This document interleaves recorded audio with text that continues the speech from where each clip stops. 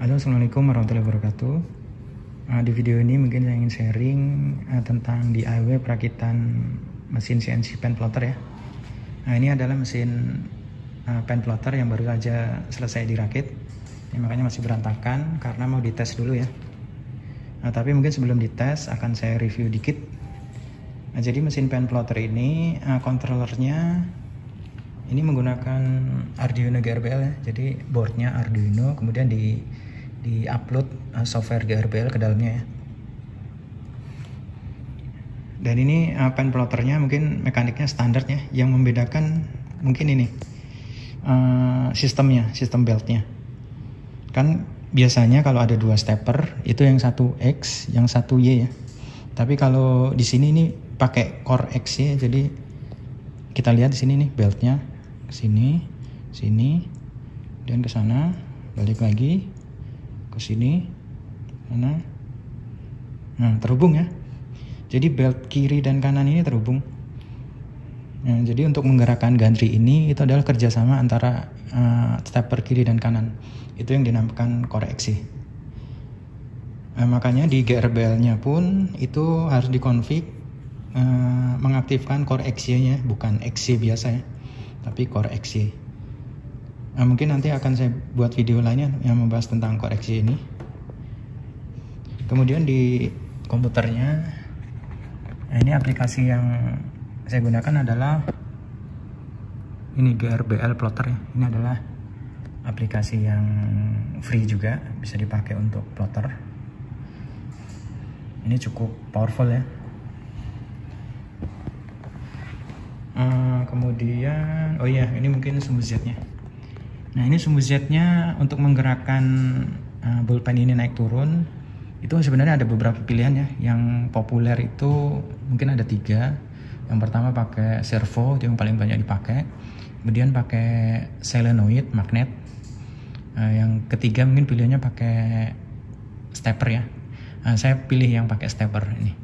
Ini adalah stepper. Nah, ini adalah stepper bekas CD-ROM ya. Jadi kecil, ini banyak juga yang jual. Jadi bongkaran CD-ROM harganya antara 10 sampai 15 ribuan kalau di toko online. Jadi cukup murah. Ini walaupun kecil uh, cukup untuk uh, menaik turunkan pulpen ini. Ini harusnya kira-kira 300 eh, sampai 500 mAh lah. Nanti jadi drivernya disetel untuk sekitar arus segitu ya. Kalau kelebihan arus uh, banyak cerita kalau ini kebakar ya ini karena kecil jadi bisa kalau kelebihan bisa terbakar.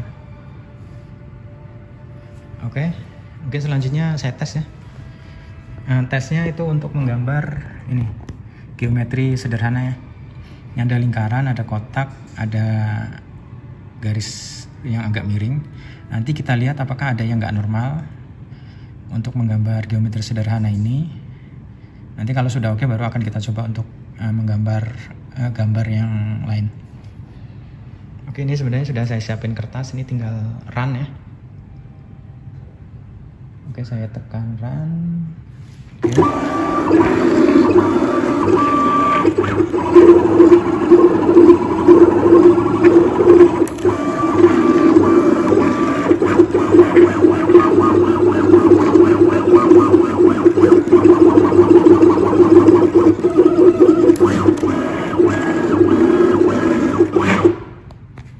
Selesai. Kita lihat dulu.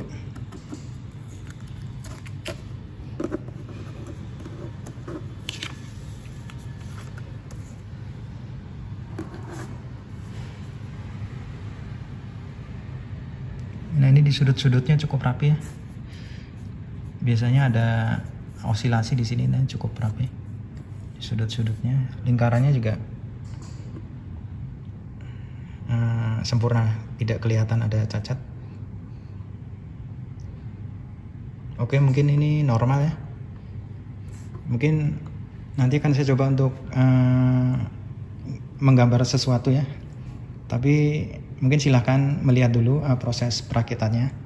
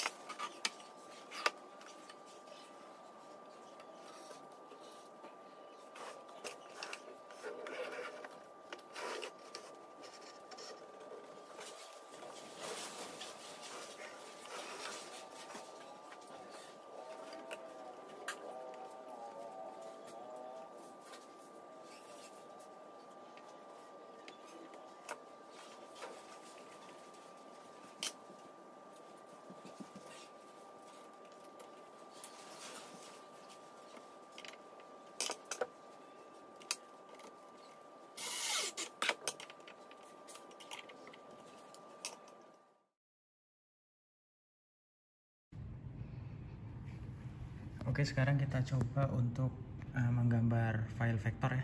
Ini saya dapat dari internet, ada file vektor. Kita coba.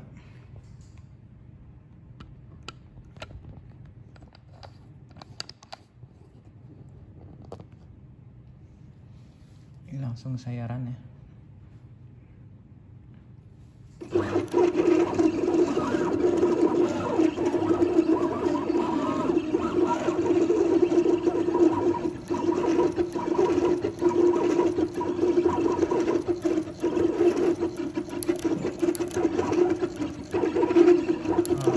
pengerjaan file vektor ini memang uh, lumayan cepat ya karena garis-garis itu bukan bitmap jadi vektor. Jadi mesinnya bisa langsung menerjemahkan dia apakah bentuknya garis lengkungan atau geometri sederhana jadi lumayan agak cepat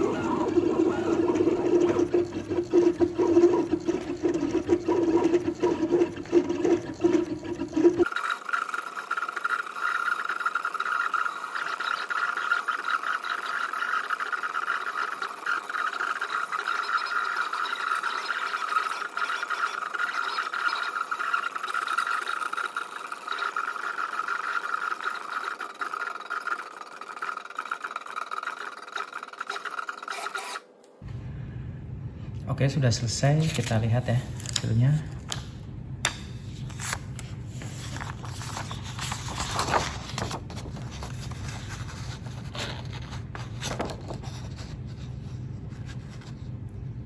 Oke ini sesuai filenya ya. Hmm, jadi uh, dengan hasil ini maka plotter ini sudah berfungsi dengan baik Oke mungkin begitu teman-teman. Mudah-mudahan video ini bermanfaat. Assalamualaikum warahmatullahi wabarakatuh.